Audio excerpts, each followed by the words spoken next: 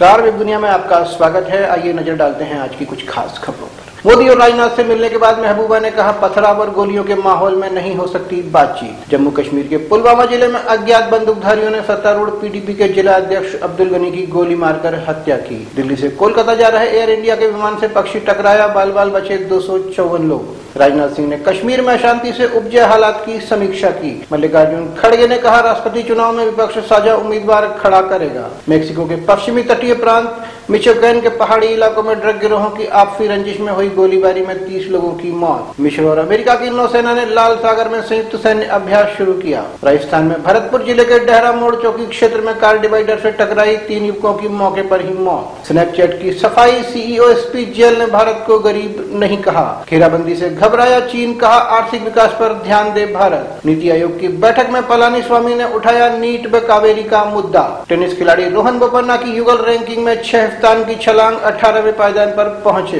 Royal Challengers, Bengaluru के कप्तान विराट कोहली ने कहा, टीम का अभी तक का सबसे खराब प्रदर्शन।